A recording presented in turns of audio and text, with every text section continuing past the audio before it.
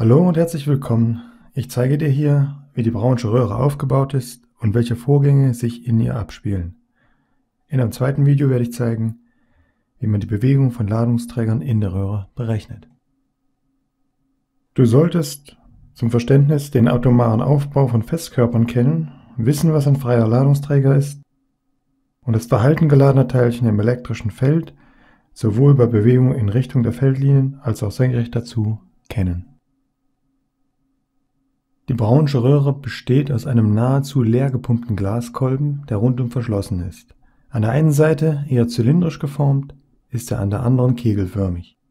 Der Boden des Kegels ist innen mit einem Material belegt, das aufleuchtet, wenn Elektronen in hoher Geschwindigkeit auf ihm aufschlagen. Diesen Effekt nutzt man gezielt aus, um Punkte, Linien und Figuren auf diesem Bildschirm zu zeichnen. Man erreicht es dadurch, dass man zuerst Elektronen in dieser Röhre freisetzt, sie dann in Richtung Bildschirm beschleunigt und auf dem Weg dorthin gezielt auf ihrer Bahn zur Seite ablenkt.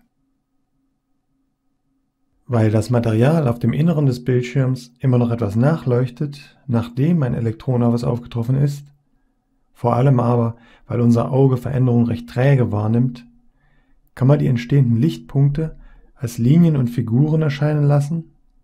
Wenn man den den kompletten Film und viele weitere findest du auf www.sofatutor.com. Über 7000 Lernvideos erklären dir, was du für gute Noten wissen musst. Tests überprüfen dein Wissen nach jedem Video.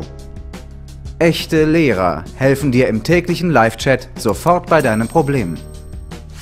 Du kannst außerdem Privatstunden bei deinem persönlichen Online-Tutor buchen, um tiefer in ein Thema einzutauchen. So helfen wir dir, deine Zensuren ohne großen Aufwand zu verbessern. Probiere es am besten sofort aus auf www.sofatutor.com.